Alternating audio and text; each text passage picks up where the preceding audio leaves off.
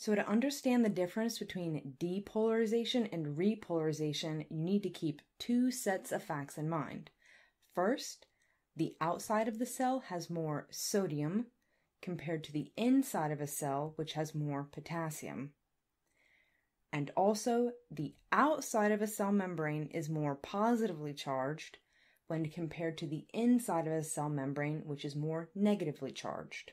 So even though there's all that positive potassium inside the cell, there are other things in the cell membrane that are making it more negatively charged.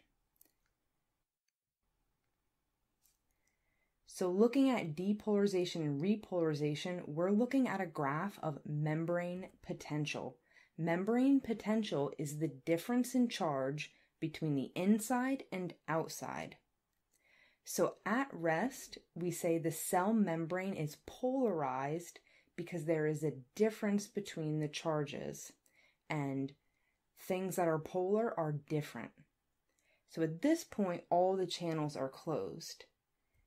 Depolarization happens when the sodium channels open, and because there's more sodium on the outside of the cell, once those channels open, that positive sodium starts to flow into the cell, making the inside of the cell more positive.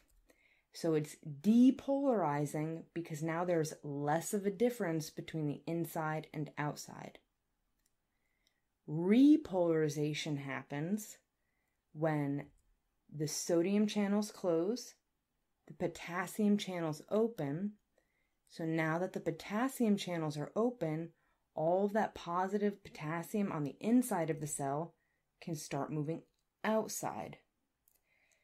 So the charges flip back to the outside being more positive, the inside being more negative. We reestablish the difference between the inside and outside of the cell membrane.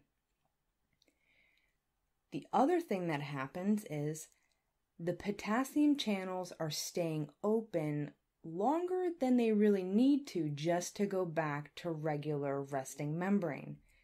So hyperpolarization occurs when the inside of the cell becomes more negative than it was to start with because that positive potassium keeps exiting.